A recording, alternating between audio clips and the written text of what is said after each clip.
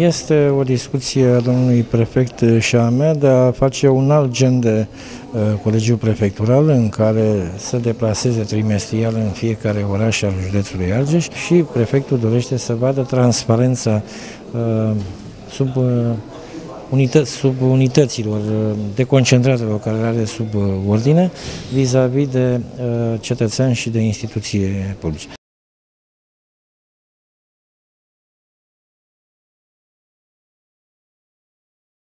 Va fi ceva inedit, ceva interesant și o să vedeți care va avea mare impact. Sunt invitați toți directorii de instituții publice, funcționari publici, directori de firme private, inclusiv cele două platforme industriale.